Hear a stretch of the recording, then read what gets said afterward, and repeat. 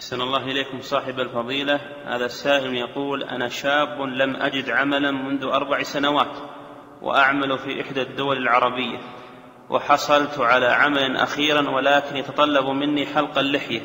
السؤال هل أقبل بهذا العمل فأحلق لحيتي؟ وما الحكم في هذا؟ لا تقبل هذا العمل.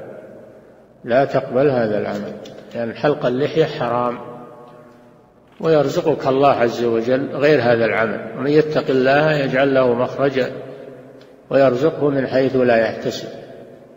فلا تلتمس رزق الله بمعصية الله ولكن اطلب الرزق من الوجه الحلال. والله جل وعلا ييسر لك إذا علم منك صدق النية فإنه ييسر لك. كما وعد سبحانه وتعالى ومن يتق الله يجعل له مخرجا ويرزقه من حيث لا يحتسب. نعم.